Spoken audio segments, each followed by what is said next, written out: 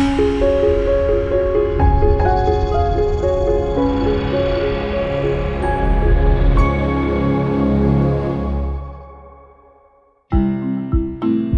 2G Robotics is a substantial exporter of uh, technology and so having resources that will help small companies to export and deal with the various logistical and uh, bureaucratic elements that are involved when you're exporting would be a huge help for companies like myself uh, as well as other small tech companies that are really looking to have a global presence. In Ontario, to successfully grow a business, really what you need is passion. Uh, with passion, you can overcome obstacles. Passion lets you get through those hurdles that inevitably end up in your way that, that will challenge you, will test you. And if you can be passionate about what you're doing and truly believe in what you want to accomplish, that's what you need.